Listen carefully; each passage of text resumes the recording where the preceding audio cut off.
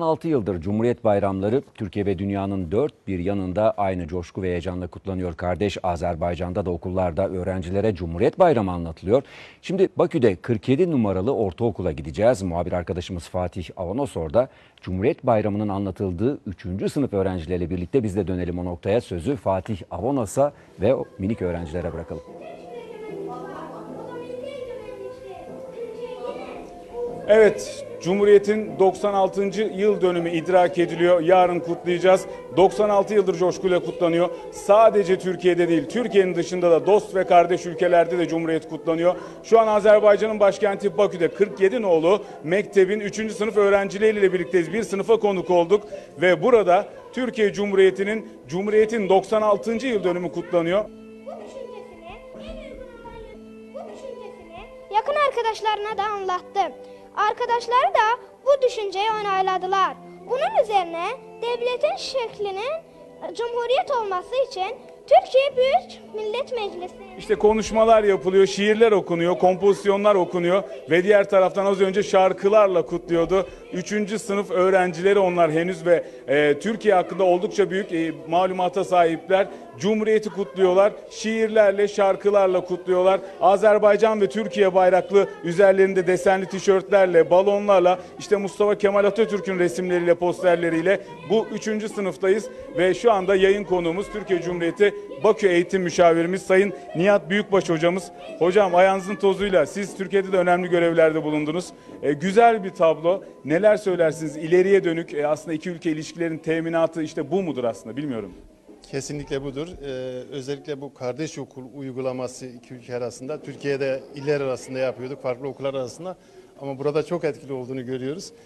Bu kardeş okul uygulaması vasıtasıyla değerlerimizi, müfredatımızı, müfredatımızda belirtilen değerlerin ortak ülke vatandaşlarımıza tanıtılmasının tam zamanı ve çağıdır aslında.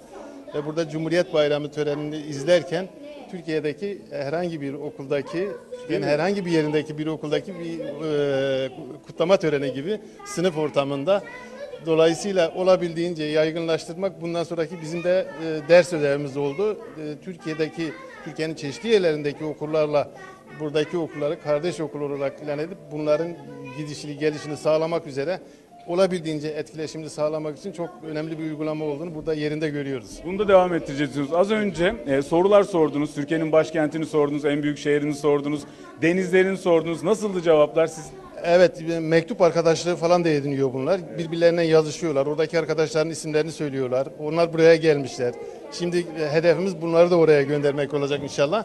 Dolayısıyla Türkiye'yi, Türkiye'deki bir e, herhangi bir okulumuzdaki öğrenci kadar tanıdığını görünce yaparak, yaşayarak öğrenme için önemli bir altyapı sağlıyor bu e, uygulamalar. Bu etkileşimi olabildiğince çoğaltmamız e, gerçeği ortaya çıkıyor. evet bu, bu şekilde de herhalde değil mi? İleriye dönük önemli e, kazanım olacak. Birbirlerini tanımaları anlamında. E, Evet çünkü e, Azerbaycan, Türkiye iki, e, iki devlet bir milletin altyapısı. Dolayısıyla bunu mutlaka e, çoğaltmalıyız. E, bu- yaşlardaki çocukların öğrenme kapasitesi çok yüksek olduğu için bir de görerek, yaparak, yaşayarak olduğu zaman etkileşim daha güçlü oluyor. Öğrenme daha kalıcı oluyor.